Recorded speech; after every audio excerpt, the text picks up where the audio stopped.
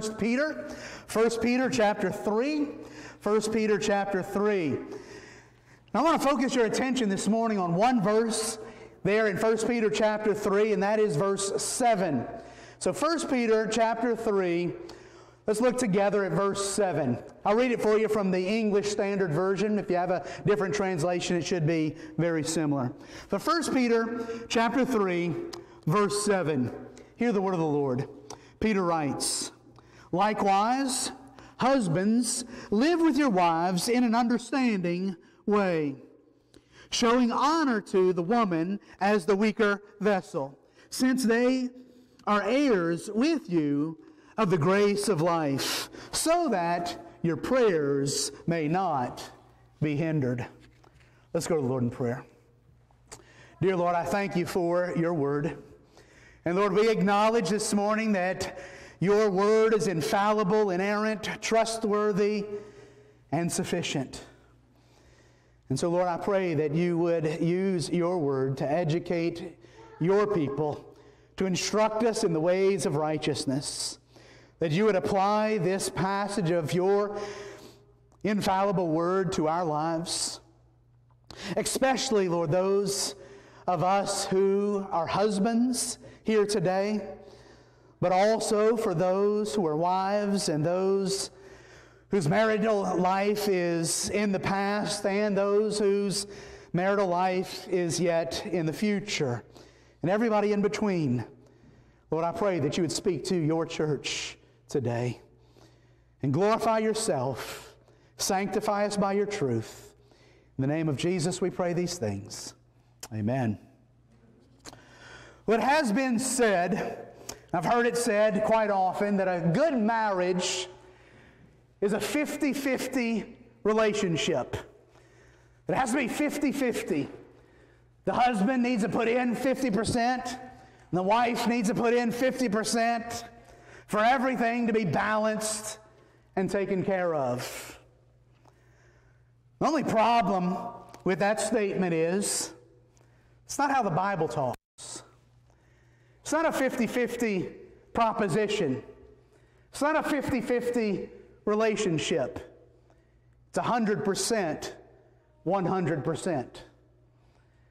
You see, your marriage is not going to work if you only put in 50% and expect the other half to put in the other 50%.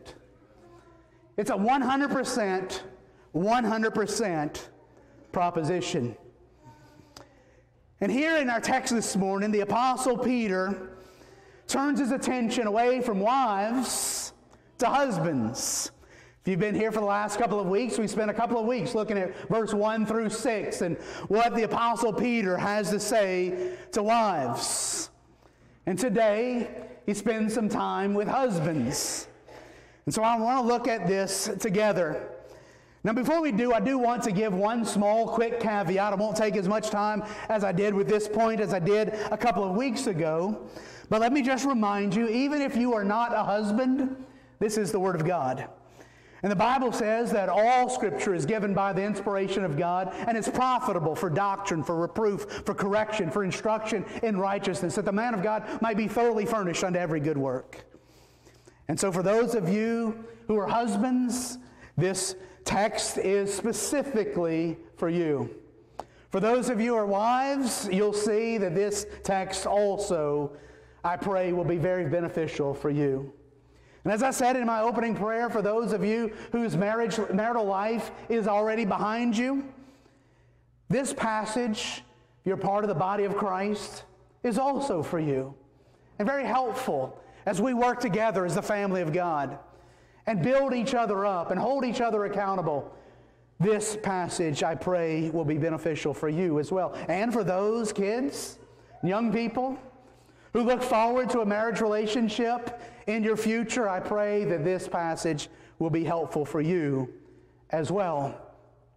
And so let's dive into it. And as we did mention, as I just mentioned, we do only have one verse here for husbands, and we had six verses for wives. And so some of y'all might be saying, hey, wait, no fair. Uh, how, how come the wife gets six verses and the husband only gets one? Uh, how, do, how, does he get off the hook uh, so easily? Uh, well, before you, uh, you, go to that conclusion, let me see if I can make sure that under, we understand the big picture context of what Peter is doing here in this in this epistle. We've been working our way through verse by verse through 1 Peter now for a good while. I think this is, if I remember right, I think this is number 27, 27th or 28th sermon as we work through verse by verse through 1 Peter. And remember the big picture that Peter is dealing with is he's talking to a congregation.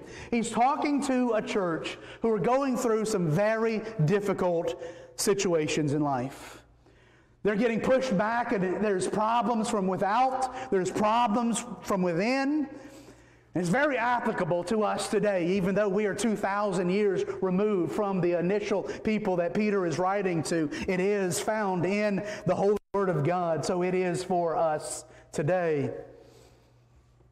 And very applicable in so many different ways. And that is why I believe God led me to work our way through 1 Peter together as we're living as Christians in very difficult days.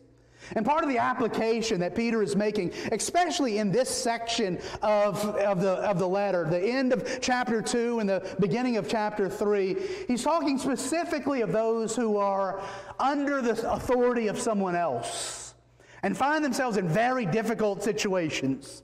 And so, for example, he talks to Christian citizens who are living under the authority of a godless government. And he helps them to think through their responsibilities and how we are to relate to the civil magistrates in that situation. And then he talks to slaves, Christian slaves, who are under the authority of cruel masters, and gives them some instruction, some help, and some encouragement on how they are to live under that kind of situation.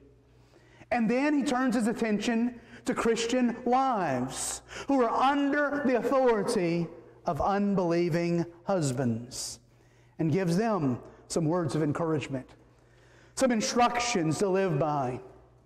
And with each one of those, as Christian citizens under a godless government, as Christian slaves under cruel masters, as uh, Christian wives under the authority of unbelieving husbands, they have implications for all the rest of us as well. And so we've seen those things. And so that's why Paul, I think, I mean, Peter spent so much time speaking to wives. So you understand the context there. But then he gives a word to the husbands. And I think there's a couple of reasons why he gives this word to the husbands here in this context. It's almost like he says, hey, before we go any further with this, I need to make sure the husbands don't get the wrong idea of me focusing so much attention on the wives. And I think there's a couple of reasons for that. One reason is probably because, let's just keep it real, he probably has a group of men they're sitting there hearing him preach to the wives and say, Wives, submit to your husbands. And these guys are tempted to go home and say, Yeah, you got that right and kick their feet, shoes off and lay back on the couch and says, hey, woman, you heard what the preacher said. Go get me a beer. You know, and, so he, he's, he's, like, oh, hold on, slow down, cowboy. Uh, hold your horses. Uh, that ain't how it works here. There's, you have some responsibility here as well. Now, of course, he was talking primarily to wives with unbelieving husbands, but as I pointed out, in those 12 characteristics of a godly Christian wife, they apply to all wives, whether they are husbands or believers or not. And so here he turns his attention to the husbands. And he says, likewise, there's another reason, hopefully I'll remember to pick that up uh, uh later and try to pull it all together. But let's go ahead and dive into the text. He says, likewise, husbands, live with your wives in an understanding way. Now, notice that word likewise there. It's an interesting word. If you were here uh, last week, you know that I spent a good bit of time, or maybe a couple of weeks ago, spent a good bit of time just with that word likewise. Uh, some translations, some of your translations might uh, read, in the same way. It's the same word that we find up in verse 1, where he says, likewise, or in the same way, wives submit to your husbands. Remember, I pushed back a little bit on the translation that says, in the same way. It's not, it's not necessarily a bad translation, don't get me wrong. It's not a wrong translation. But you might be a little bit misled if you read into it an emphasis that is not there in the text. He is not saying in the same exact way. Because remember, just a few verses earlier, he had just told slaves to submit to their masters. So he says, slaves, submit to your masters. And then he says, wives, in the, likewise, or in the same way, submit to your husbands. And you might say, well, wait a minute. Is he equating uh, slaves to masters with wives to husbands? No, he is not equating the two. There is some real differences there, okay? But he is saying there are some similarities. There are some similarities in authority structure when everything is working right and proper and good. There are there is some similarities, but it's not the same exact way. And so I would have translated it in a similar way. And so we looked at that a couple of weeks ago. And so with that in the background, it's interesting now that in verse 7, when he turns his attention to husbands, he does he also uses the same word. And husbands, in a similar way, live with your wives in an understanding manner. Now, notice he does not say submit. However, he does say likewise. And so there is a sense that he is saying, husbands, submit to your wives. Now, some of y'all have some red flags going right now when I said, just said that, right? Because nowhere in the text does it say husbands are to submit to their wives. And there's good reason for that. Because he's talking about authority and hierarchy and headship. And so husbands are not to submit to the authority of their wives. Wives are submit to submit to the authority of their husbands. Husbands are not to, to submit to the headship of their wives. Wives are to submit to the headship of their husbands.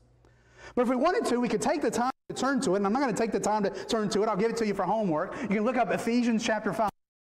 And read the whole chapter, Ephesians chapter 5. Not right now, you won't be able to listen to what I'm saying. But uh, later, go back and read Ephesians chapter 5 in its full context. Paul, the Apostle Paul, under the inspiration of the Holy Spirit, same Holy Spirit that inspired the Apostle Peter to write this, he says, Submit to one another. Submit to one another. And so there is in a healthy, godly Christian ma- marriage a mutual submission. Now, it's not exactly the same, but it's similar. The wife is to submit to the headship of her husband, and the husband is to submit to the needs of his wife. He's not to be selfish and focused only on himself, not demanding, and so I think Peter is wanting to sort of hedge a little bit and make sure that you don't misunderstand all that strong language that he was saying about complementarianism that we uh, have been hammering the last couple of weeks about the, the biblical uh, hierarchy within the home that the world these days hates. But it's biblical and it's right and it's Christ honoring and glorifying if we rightly understand it. And so, like with most things, it's very easy to fall in the ditch on one side of the road or the other. And we want to make sure that we keep it straight and only say what God says. Because we know when the Bible speaks, God speaks. And so here he turns his attention to the husbands. And there's a reason why I believe that because it goes in. I said already one reason was to make sure that the husbands didn't get the wrong idea and become dictators in their homes. Another is is because in order for listen to me carefully, in order for the wife to fulfill her responsibility in the home, it takes a husband who understands it. And a husband that meets his responsibilities. So let's look at that word husband here for a second to make sure you understand what I mean. Just the English word husband. We don't need to go to the Greek or to the Latin or anything else, even though it says basically the same thing. Even the English word husband is an interesting Word study. There's a discipline called husbandry. You ever heard of husbandry? It's really just another word for agriculture. And so you have animal husbandry, uh, crop uh, husbandry. And so the word husband or husbandry literally just means to tend to something, to take care of something so that it flourishes and grows. And so you think of a farmer, for example, who is involved in agriculture or husbandry, or, or a gardener. Let's just make it on a smaller scale. A gardener. What does a gardener do? He takes a piece of land, he tills it up and prepares it. He plants a seed. And as that seed grows, he doesn't cause it to grow, but he better take care of it. He's going to nurture it. He's going to water it. He's going to irrigate it. He's going to fertilize it. He's going to protect it. He's going to eh, take the weeds out. He's going to do some pest control. There's, some, there's a lot of things that need to happen in order for that plant to grow and to, to, to advance and to flourish and to bloom and to blossom and to produce, right? A few years ago, I really got into almost had got into gardening. I've dabbled in gardening. I've, I've watched a lot more YouTube videos than I've actually done gardening, okay? Uh, and read books about gardening and YouTube videos about gardening and done a little bit of gardening. Uh, but uh, watching the YouTube videos, I was pretty interested for a while a few years ago on market gardening. And what that is, is on a small scale gardening or farming that they might only have like a half an acre or one acre and they only have a few clients. Their few clients are some certain restaurants, and they might focus on one or two things. You know, just maybe like lettuce or, or tomatoes or something like that. And, and it was very interesting how the care that they would put into growing these crops, these specialty crops, these high end crops that they were able to produce. For example, tomatoes. You know, this one guy, he had this little setup. He only had like a half an acre, and he made a full living provided for his whole family on a half an acre of land growing nothing but high end tomatoes.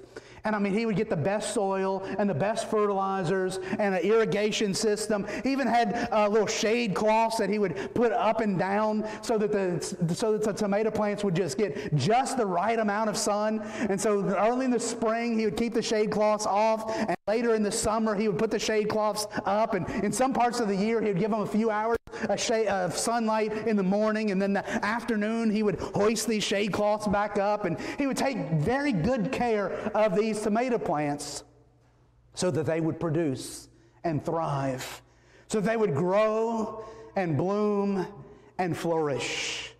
That's husbandry. And it's interesting, even in our English language, that it's come to speak of a man's relationship with his covenant partner, his wife. And it's a very biblical picture there of a husband who tends to his wife's needs to fertilize her, to, to water her, to care for her, to guard her, to protect her, to protect her from the hot sun, to protect her from the rabbits coming in or the deer coming in, or protect her from those types of things, and to help her to flourish and be all that God would have her to be. And so that's one of the reasons why I said last week, while we were looking at 12 characteristics of a godly wife, that is very important for the husbands to pay attention. Because all of those characteristics and qualities that ought to be in a wife are in part your responsibility as well. You see that guy growing those tomatoes wasn't out there yelling at the tomatoes, why don't you grow? He wasn't slapping the tomatoes around, why don't you grow? No, he was encouraging them with giving them what they needed to flourish. You, you see the analogy that's being made there? Even with the word husband, as we have here in the text. And so the Apostle Peter, wisely, under the inspiration of the Holy Spirit, says, Likewise, husbands, I have a couple of things that I need for you to do. This is a command. This isn't just advice, this is a command from God. There's two aspects of that. And there'll be a few subpoints under it. But the first one he says, live with your wives in an understanding way. Dwell with your wives, live with your wives in an understanding way. Now, let me kind of read between the lines here and make sure and, and have it in context. There might be an aspect here that Peter is getting at that I didn't really see very many other commentators or, or people uh, pointing out. But hey, I, I believe context is very important. You got to understand the context. And since Peter has already been talking to wives, specifically with unbelieving husbands, it's very likely that he also has, at least in the back of his mind, husbands with unbelieving wives. You see? And these couples who are coming into Christianity, especially in the early church, knowing what the Apostle Paul says about marriage, that we are not to be unequally yoked together with unbelievers. Paul deals with this a great deal in the letter to the Corinthians, that believers should be married to believers. That's very important, especially for young people looking for a spouse. If you are a believer, you need to find a godly Christian woman. And, and every one of those are, are important. A godly, Christian, and nowadays you have to emphasize woman, right? so a godly Christian woman is who you ought to be looking for as a spouse. Not to be unequally yoked together with unbelievers. So, knowing that in the background, what happens when you're an unbeliever and you're married already to an unbeliever, and then you come to Christ God gloriously saves you. You hear the gospel, you repent of your sins, you come to Christ, you get baptized, you join the church, and your wife is still an unbeliever. You say, We're not supposed to be unequally yoked together. What are we supposed to do? They're trying to figure this out in the early church. Do we now get a divorce? Do I go look for somebody else, just leave her behind and go find somebody else that we can do life together as believers? Paul says and elsewhere, no, that is not what you do. And that's, I think, what Peter is in part saying here as well. Men, even if you have an ungodly wife, a wife who is not a follower to Christ, what are you to do in this difficult situation? Continue to live with her. Continue to, to live with her as your spouse. And I don't want to get too graphic. Whenever we talk about this kind of stuff, it always makes me a little nervous because there's something interesting here in the text that the ESV sort of clouds a little bit, but the King James uses the word knowledge there. And I think there's a little uh, euphemism that's there that's a very popular euphemism in the Bible about marital knowledge of each other. I'll just say, for example, we see in Genesis, Adam his wife and she bore a son. You know what I mean? They, they, they, knew each other. They didn't just swap phone numbers, if you know what I mean. Uh, so there's something going on there. And so and Peter is saying here is, is look, look, live with your wife. Live with your wife. Do what married couples do. Enjoy life together. That is God's good and gracious design for marriage. He says, live with your wife with knowledge, with understanding now, this understanding, uh, what are we supposed to understand? What are we supposed to know? I think a couple of things. Here's the subpoints under the statement that where he says, live with your wives in an understanding way. What does it mean to live with her in an understanding way, in a knowledgeable way? I think there are two things that are going on there. One, in the knowledge of the scriptures, in a knowledge of how marriage is supposed to work, understanding God's good design in marriage. You see, the world says a lot about marriage these days, and it is degraded and it is distorted. The definition of marriage that is being used even by the United States government today has almost nothing to do with the biblical definition of marriage. We might even talk about same sex marriage I ever told you I'm a horrible speller, and, and so when I'm typing uh, on my word processor, uh, there's these little red squiggly lines under almost every other word, and uh, I spell so badly that when I type in the word marriage, the word processor don't even know what I'm trying to say, uh, and it, it'll give you little suggestions. And a lot of times, instead of marriage, it'll say mirage. Did you mean mirage? I'm like, same-sex mirage, yeah, that's probably that's a little bit closer. A mirage something that appears, uh, but it's not really real. And a same-sex so-called marriage is not marriage. It's not how God intended it to be. It is a distortion. It is a falling short. And so marriage is a beautiful and a wonderful thing between a man and a woman. And for us to foster our marriages, we need to understand all that God says about marriage, about male headship in the home, about mutual submission, and all the rest. And so I think that's what Peter, part of what Peter is talking about here when he says, Husbands, live with your wives in an understanding way in a knowledgeable way, with your eyes wide open kind of way, with your eyes open and your Bible open, understanding God's good design for marriage.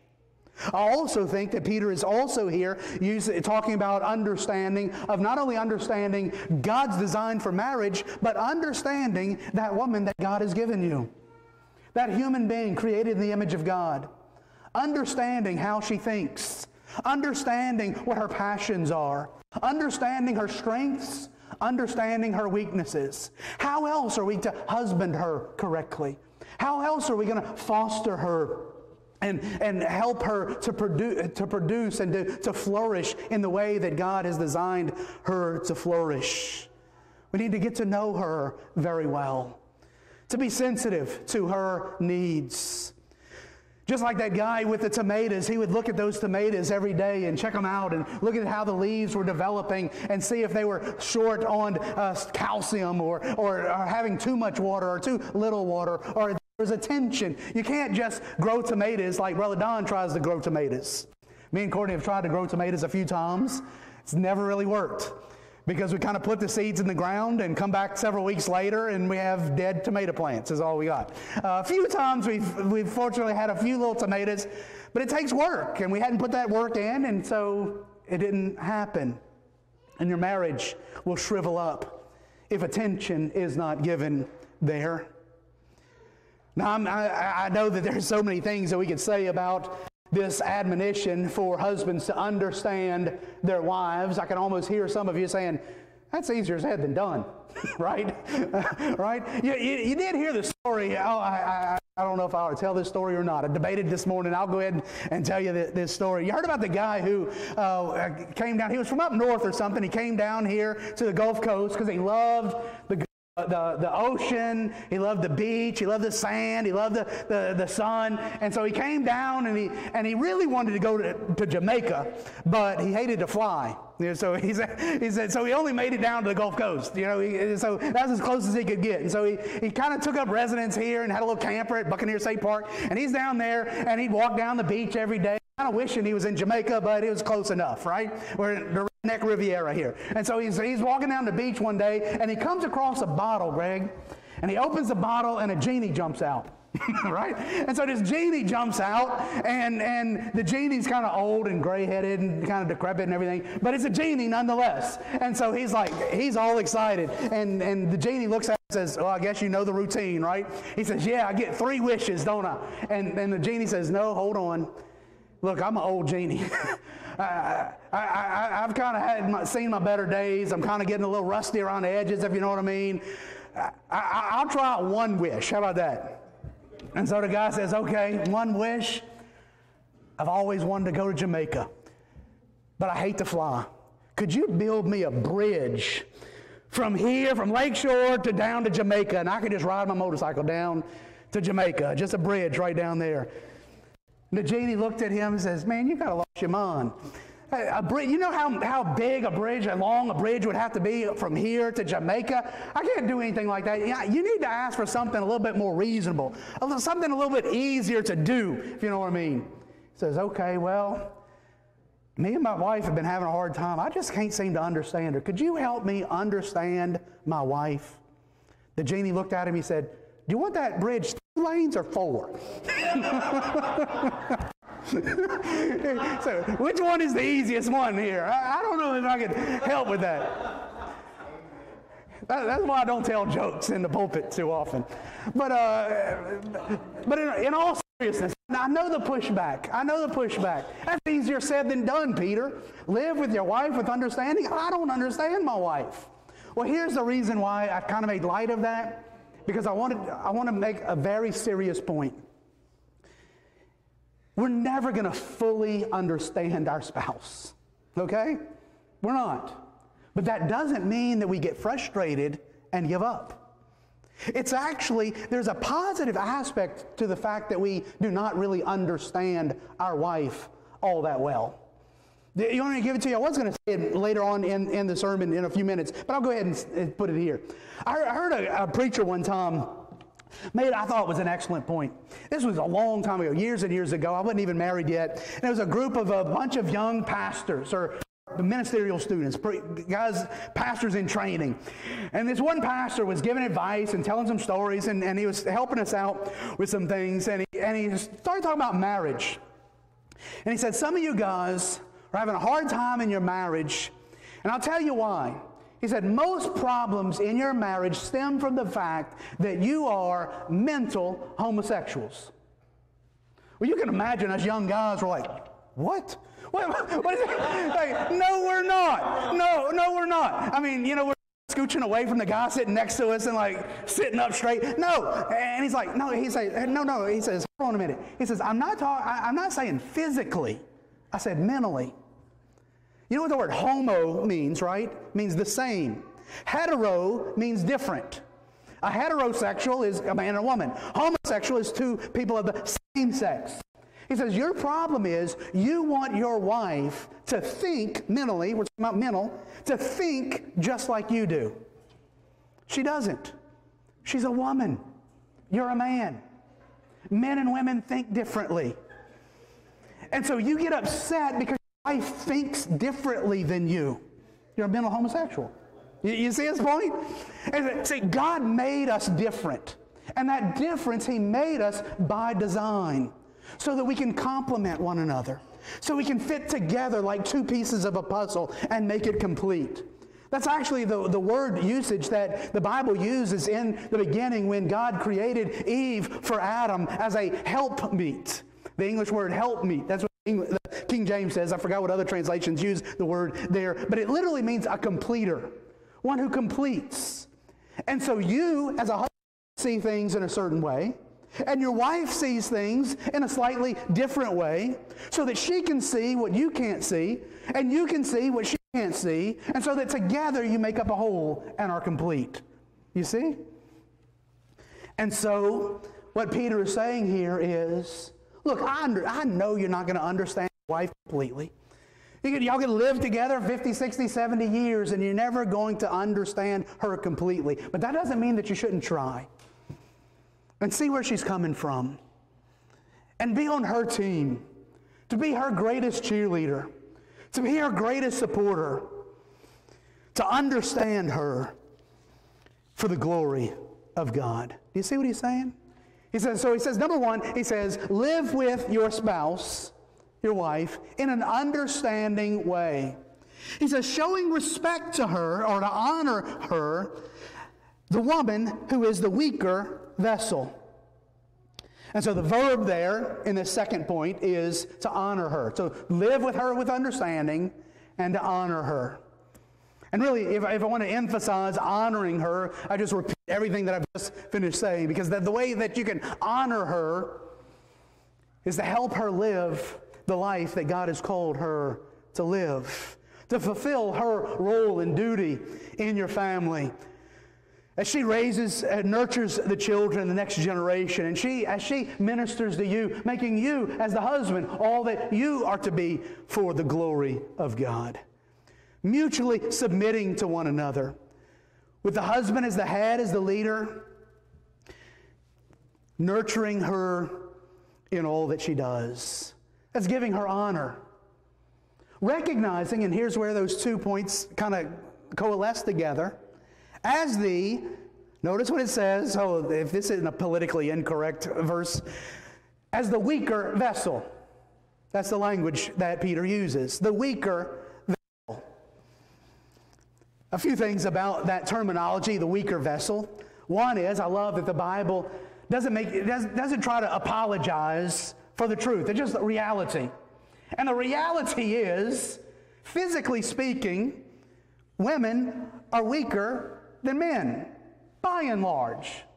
I know some women who are stronger than I am. I understand that. There, there's some exceptions to the rule. But by and large, and, and did, did, some of you older people ever think that this be a controversial statement? I mean, that's how men made, God made us.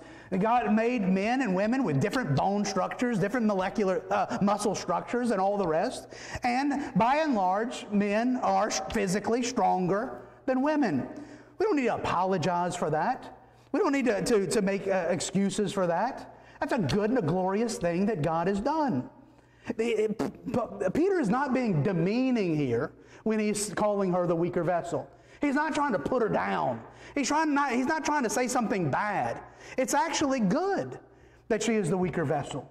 Uh, there, there's, there's, I mean, I, was thinking this morning, trying to figure out how I could explain this. Uh, certain, certain materials are softer than others, right? So, cotton, for example, is soft, and sandpaper is hard. Which one is better, cotton or sandpaper? Well, it depends on what you what you what you do doing with it, right? When I put my socks on this morning, I was glad that cotton is not the same as sandpaper, right? I mean, it, so it was it was nice to put in cotton socks, not sandpaper socks. And so, but being softer is not a bad thing. It depends on what your function is, what your role is, and what you're trying to do. And so Peter, and I say all that to make sure that we don't misunderstand what Peter is saying. He's not being demeaning at all. Um, he is just stating a fact of reality. And I think he is here speaking primarily uh, physically, primarily physically. Uh, because we know that as we take the whole counsel of God, actually, the next point that he's about to make, we are not talking spiritually weaker. We're not talking even emotionally weaker even though men and women do tend to have differing emotions. Uh, I, have often said, and I'm not uh, ashamed to say it, out of Courtney and I's relationship, I am the one that is more visibly emotional. I'm the passionate one. I'm the, I'm the one that gets stirred up easy. I'm the one that cries the easiest. I, I, I told Courtney this the other day. I, am going to go ahead and tell the whole church this. Can you believe I'm going to tell? I was embarrassed to tell my wife, and I'm going to tell the whole church now. Uh, I, was, I was listening to a podcast the other day, and the, the storyline in the, in the podcast is neither here nor there. There was a news story, and the guy was talking about a couple who was going through in vitro fertilization, you know, and they had the, the, the, test tube baby or whatever. And so the, the embryo was in the hospital, and he was telling the story about how the woman would go to the, drive home from, the, from her work every day, and she would take the long way home so that she could go and sit in the parking lot at the hospital and sing a lullaby to her baby who was in frozen state in the hospital. And something was touching with that with me. And I'm sitting there in my backyard with two hound dogs sitting there, eating lunch, with tears coming out my eyes because it was touching to me. I, am emotional, okay? Uh, and, and, sue me. What you gonna do? Uh, and, and, so now Courtney, it, it, she she doesn't cry very easily. She doesn't cry very easily, and so we, we are not the stereotypical men and women. However, on the other other hand, I very rarely make decisions based upon emotions. And a woman is going to make decisions based on those emotions, and that's not necessarily bad either.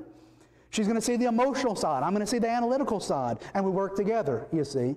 And so that's what Peter is talking about here. Is look, she is the weaker vessel. She is the tomato plant that needs nurturing, that needs shade, needs protection from the deer coming in and eating it. There's a protecting role that men are to have. Men are to be, husbands are to be protectors and providers.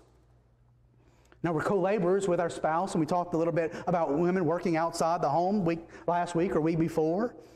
And all of those things are within the boundaries of what God has designed. But what Peter is wanting us to do is to take into consideration the reality of God's good design. Do you see? And so when he says here that she is the weaker vessel, I think he's talking specifically about the spiritual, I mean, the uh, physical differences between men and women. But then he very quickly goes to the spiritual.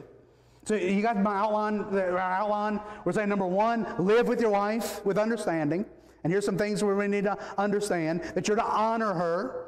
And then here's two things. The reason why you're to understand her and honor her is because she is the weaker vessel, and, and, and by God's design, you're to protect her and to provide for her. But spiritually speaking, we're on equal footing. It, say, it says that she is, uh, how, how, does it say it? Uh, since they are, women, are heirs with you of the grace of life. They're heirs with you of the grace of life. Now, here I think that he's talking about both salvific grace and common grace. Some have argued uh, in, in, some of the stuff that I was reading this week is Peter talking about salvific grace, and I'll explain what I mean by that in a second. Salvific grace or common grace. I, I think he's talking about both. I think there's a. I don't think you have to make a distinction here. Salvific grace or saving grace, you know what that is. When you come to understand the gospel, when you hear the good news of Jesus Christ, that salvation is by grace alone, through faith alone, in Christ alone, for the glory of God alone. Where the Apostle Paul in Ephesians says, You are saved by grace through faith, and that not of yourselves is a gift of God, not of works, lest any man should boast. And you hear the good news of the gospel that God saves sinners, that Jesus Christ came to earth, died on the cross to pay the penalty for sin for all those who would repent of their sins and trust in Him. And that salvation is by grace alone. What Peter is saying here is, for me to put it on the bottom shelf and y'all are all going to say, duh, women can be saved too.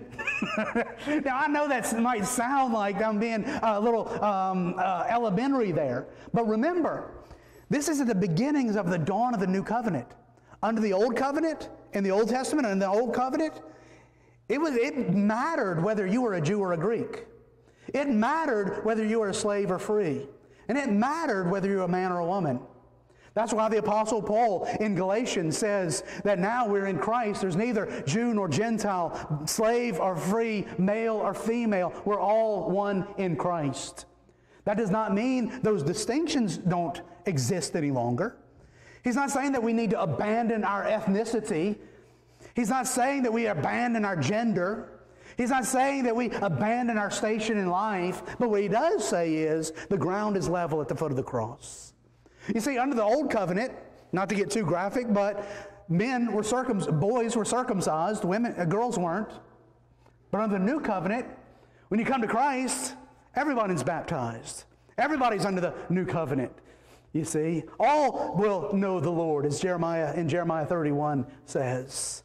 And so Peter is here reminding them look, if, as we think through what it means to have a rightly ordered family, with the husband as the head of the home, don't take it so far to make it mean something that we don't really mean. A man doesn't have any spiritual advantage over a woman. Even though there's certain things within the home that it's the man's responsibility to do, just like within the church, and also, I would say, physically speaking, especially in society, those things need to make sure that we see that there's a difference. When we come to accessing the throne of grace, men and women are on equal footing. Oftentimes, and I've said this before, I know my wife is a much better Christian than I am. And so Peter reminds husbands of that. But also, I think he's also talking about common grace. That's salvific grace, saving grace. I think he's also talking about common grace. You know what common grace is? Common grace is the recognition that everything we have is a grace gift from God. And, that common grace extends not only to believers, but also even to unbelievers. Jesus said it this way the rain falls on the just and the unjust. And so you, you don't have to be a Christian to enjoy hot boiled crawfish, right? You don't have to be a Christian to enjoy a sunset. You don't have to be a Christian to enjoy the good things of this life. Now, being a Christian helps you to appreciate them more and give God glory for them. But common grace is the grace that God has infused into the universe for the good of His creation. And so, if we understand that as the grace of life, what Peter is saying here is you, as husbands and wives, live together, enjoying the good things that God has to offer. The grace of life. Live the real good life. The world has its definition of the good life. God's life is so much, God's good life is so much better. God's good life is so much better. I need to hurry and finish up. He says all of those things, and then he says, Here's the purpose. Here's why, husbands, I want you to live with understanding of your spouse. Here's why that you're to honor the weaker vessel. Here's why that you're to recognize that you are co heirs with the grace of life. He says, so that your prayers will not be hindered. Does, it, does, that strike any of you as interesting as it does to me? I would have expected. Now, I, I kind of read ahead. I knew it was coming. But I would have, if I would have been reading this for the first time, I would have expected him to say, do all those things so that you can have a happy marriage. Right? That, that, that, that's what he, you think that he would have said. So that you can have a happy home. You know, happy wife, happy life, right? Is that how it goes? And so, and so you would think that he would say that. I believe that is true.